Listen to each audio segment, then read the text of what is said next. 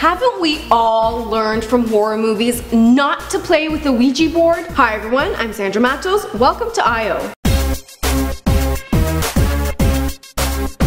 In Mexico, three American friends were rushed to hospital after they were possessed by evil spirits. Why?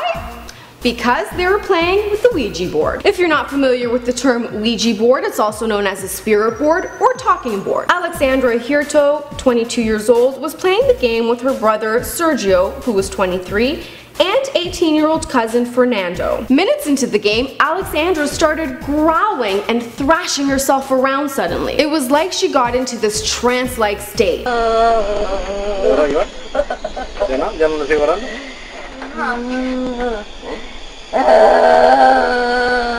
Sergio and Fernando also reported signs of experiencing possession. They experienced symptoms like numbness, double vision, actually going blind, deafness, and hallucinations. Paramedics were then called to the house and all three were taken to hospital. And it wasn't an easy task for the paramedics to get them to the hospital.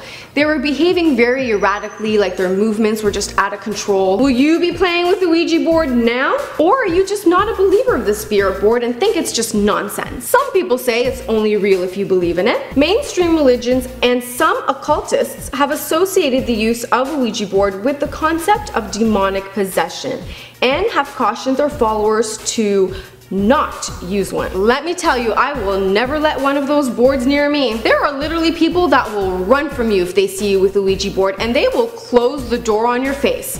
I would too, no jokes there. So I'm wondering, have any of you ever used a Ouija board? And if so, did anything weird, scary, crazy, demonic, crazy happen to you?